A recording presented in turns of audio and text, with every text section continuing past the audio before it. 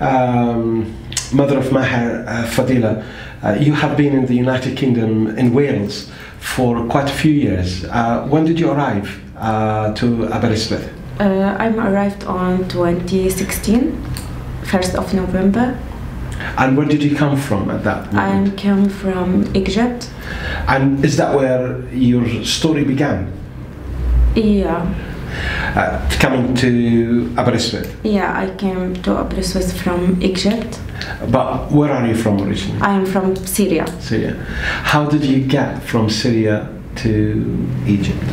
Uh, we go to uh, to Lebanon first, and after we take a, uh, take ticket from uh, Lebanon and go to Egypt. We left Syria on 2011, no 2013, sorry, in, in April. Uh, we go to Egypt by by flying, and uh, we we go to Egypt on. I am pregnant for another daughter. I have daughter when I left Syria. One daughter. Uh, we go with my mom and my sister and my husband. Uh, we arrived uh, to to Egypt and we see my brother in Egypt. Mm, yeah, and after we stay in the Egypt three years and a half with my family, and uh, the UN support us and help us for coming to here. They calling me and ask me if you want to go to United Kingdom, and I told them yes, I want because uh, difficult life, um, you, everything's expensive for us, and we just to try to to go to safe place for my children, for uh, for good life in the future. Just I I thinking about my my children to uh, to go to university in the future. That just when I they ask me to dra- uh, traveling to U- United Kingdom, just I want safe place, some some some good life for my children. What was the journey like from Egypt to Aberystwyth? Uh, it's difficult because not anybody come with us. We are don't have speaking English and and the the traveling is Germany. And when we go to air, air, Airport. airport, s- s- sorry, No, no, airport. Uh, I uh, uh, I didn't know what I can do. I didn't know where I can sit. And I want to speak uh, with body. No, everyone speak English and Germany. I think. Just uh, one, we just scared, difficult time. Everything is dark because na- uh, in the night about one one and a half in, In the morning. morning. Uh, just we scared just and one person sh- he thinking we are not speak and he speak Arabic and English. He is very kind and he told me give me your ticket please and I give him and told me we are stay me and daughter my mom and dad and too far from it's feeling very difficult. Mm, This problem was me in traveling. yeah. And when you got to Aberystwyth, uh, were you with a government-supported group or were you the local community sponsorship? Uh, we uh, come in uh, to Bristol and uh, the Red Cross and uh, uh, somebody translate for us. They support me and look after us. Yeah. And in Aberystwyth, who welcomed you to Aberystwyth? Uh, welcomed from Aber 8. Aberystwyth. Yeah, they are very kind and, as well, and local here is very kind with us. Yeah, I have to to uh, to to found friends here. I'm when I started to go coffee morning in the university every Wednesday. I saw local community here and uh, this making friend. Mm-hmm. That very help for me. You tried to make a, a new life for you and your family here. How was that? When I came to here, I just feeling crying and scared, and I feeling, I feeling I am where I am. Mm-hmm. Yeah, like this. I ask him, ask me, and ask my husband where we are. We went back to Egypt because we sca- scared because we don't have language.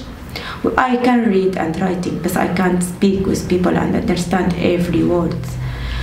And my children is scary because no, no, no anybody here. They go to school scared, no have friend. Just about two months for my kids and after they speak english making friends happy. When i saw my children i am still at home. I can't go to shopping or something. Everything's i think difficult to find it and me uh, after i saw my children happy i'm just making me confident to stay. Because always I thinking no I went back. No I why why I am come here? Just like this thinking.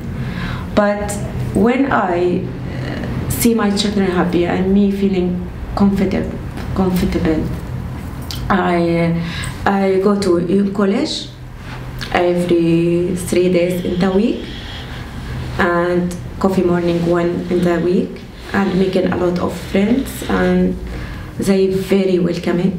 The community here every time smiling good good and say hi and just make him comfortable and feeling good for me friendly. And when i walk here and we started to go to shopping go to see yeah i, I now i love Aberystwyth. It's not you. It's not central to, to to to Wales or to the United Kingdom, and the weather is so different than Syria and and Egypt. Uh, Yeah. How did you acclimatize to that? when i go to egypt in egypt all the time summer Yeah, and very hot different in syria we have four seasons yeah, Yeah, but what I come to here, I came on the first of November, very cold. I feeling cold and winter, but I remember I remember my country in Syria in winter same here, yeah. and sometimes cold than here. Mm. Yeah, this when I walk. Oh, I remember when I'm very young, like when uh, smelling trees or something. I feeling. I remember when I go to school in September, like like same same season. I love autumn because I have mem- memory in my m- mind when I'm very young to go to school. The start same here. Yeah, this making me little bit happy. You started a business here. Tell us about it. Yeah, I started with with the group Syrian community. We started on 2019. Yeah. Uh, we are now three ladies, me and Rula and my mom. Uh, we uh, we started from Medina restaurant. I love when I came to home. I love go to Medina always. Mhm. I spoke with a lady named Rose. She support us for started the business. I know. And when we came to when go to her, we want to her. I told her, uh, can uh, use your kitchen and restaurant one day. She very welcome it, and we started from there. And after we had now making marketing, uh, uh, one Syrian night, yeah, And that's going well. yeah. I've seen awards on Facebook. You got an award for that, didn't Yeah, we have yeah in, in Cardiff?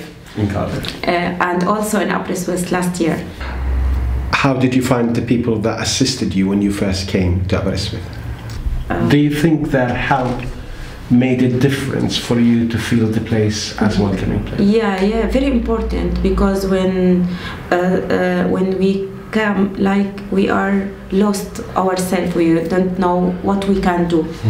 Uh, when they uh, uh, they came and help people, uh, yeah, very important because here have uh, letters. Have uh, you need go to GP, you need go to hospital, you need uh, uh, in the job center as well to find job. Yeah, that's very helpful. Just, just a final question. What would you say to the local communities about their responses to refugees or asylum seekers? Uh, I you need they they support them and help them for found job and for welcoming they already that, but uh, this very helpful for people. Just started a new life for them because they come from difficult times. You need support by by speaking, by feeling, by give give them support. Just not only money or something. You need money exactly, but but you need love. When feeling love, this making the people support